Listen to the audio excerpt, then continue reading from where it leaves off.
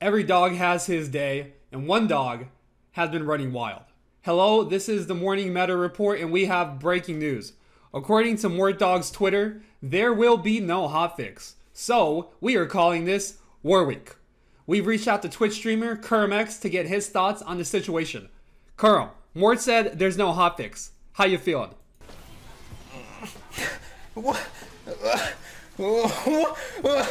What the fuck? No, no, no, no, no, no. Agreed. Thank you, Carl.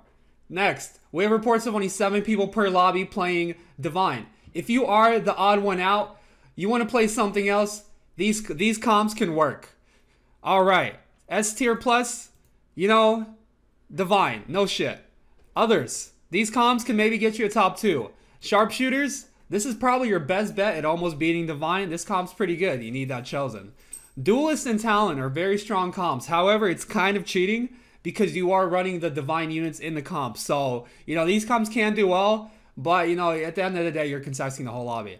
S minus Vanguard, Mystic Aria. This comp's actually pretty good. It can do very well. You can one shot the Divines before they drop below that 50%. This comp can do pretty well. Your win con is RE3. Good luck.